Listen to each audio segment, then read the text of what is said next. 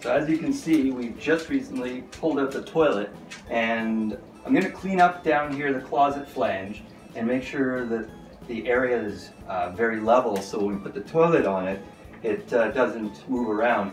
I'm also going to install this closet flange extender and what this does is it will bring up the level a little bit because we're going to be putting flooring and that's going to be about 5 16ths of an inch. So because the closet flange can't be below the level of flooring or else the toilet won't seal, I'm going to install this on top, make sure it's all level, and then um, we can put the flooring down, uh, have everything painted, and then put the toilet in. So the toilet probably goes in uh, one of the last things we're going to do.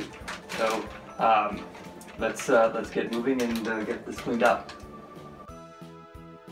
I installed the new faucet, which was a little bit tricky, but uh, with the faucet comes a new strainer. So um, I wanted to install that. I had to actually lift the sink up to get the strainer in. And uh, I cleaned around it, which was disgusting in itself, but I saved the best for last because down here, I don't know if you can see it, I've been cleaning out the overflow, which is this thing here. Basically, if the sink level comes up too high, water comes in here. And uh, let me see if you can guess what the previous owners did. So this house was renovated in the 70s and some of the owners actually, um, I think, used this as a garbage bin. They um, used it for disposing of their cigarettes. So I've been cleaning this disgusting mess out and um, what I've done is I've just, you know, obviously disconnected it and I've put this um, bucket in here to, uh, to catch stuff. So what I'm gonna do now is just pour some water into the overflow here to see if I've caught everything that uh, needs to come out. So let's take a look.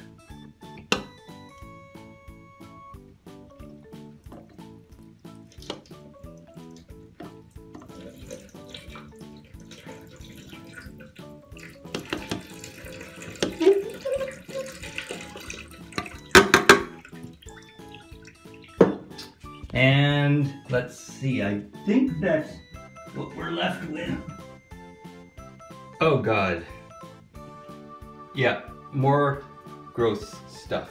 And I think that's about it. So I'll spare you the rest. I'll clean up the rest of this mess and put it all back together. And um, uh, yeah.